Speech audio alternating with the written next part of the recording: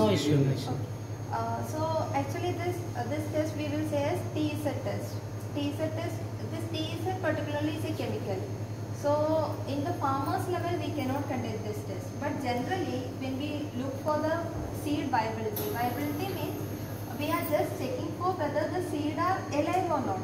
But if it is dead then there is no use of the use of sowing that seeds in the field, right? Case we will first test that we conduct in the lab is this viability test. Once the seeds come to us, we will take it, we will cut it and we will put this TZ test, TZ chemical into that. So if the portion of that seed becomes pink color, then we consider that the seed is viable.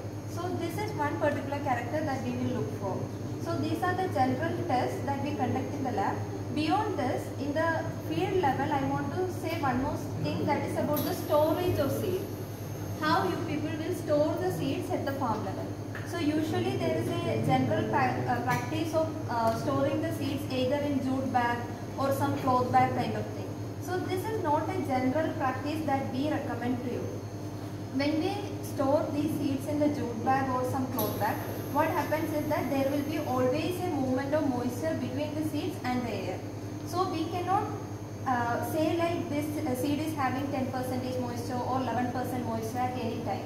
So in that case, what we will say is that there will be an availability of polythene bag with a plastic coating inside that. If you take those seeds or with a double seal, this is the best way to pack the seeds at the field level. So in that case, you can reuse the seeds for the next season also. This is one particular aspect about uh, uh, storage. And then another thing is that when you are sending the seeds to the uh, laboratory for testing, if you are sending any seeds at any time for testing, make sure that you send it in a double sealed back cover.